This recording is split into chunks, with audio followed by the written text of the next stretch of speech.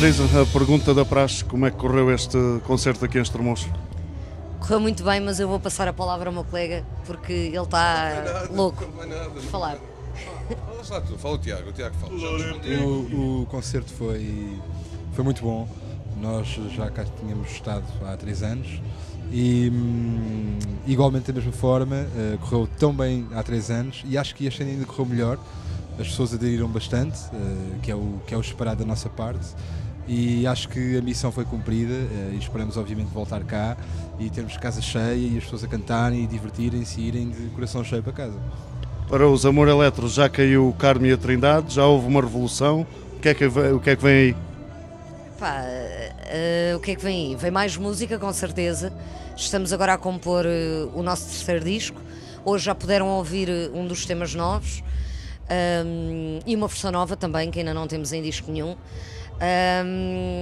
Olha, não sei, não posso responder e mesmo que soubesse, não poderia dizer.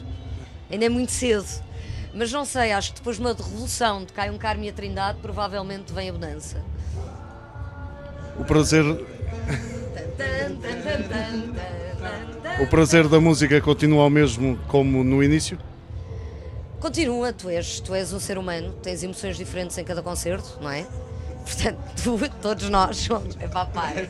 Se eu não consigo falar a sério, pá, que má onda!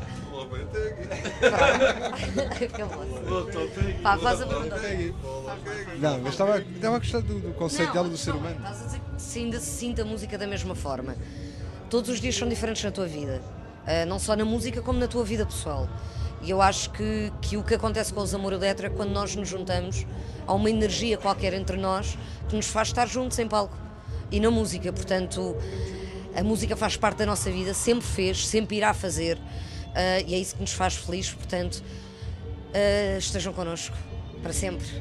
Muito obrigado. Obrigada.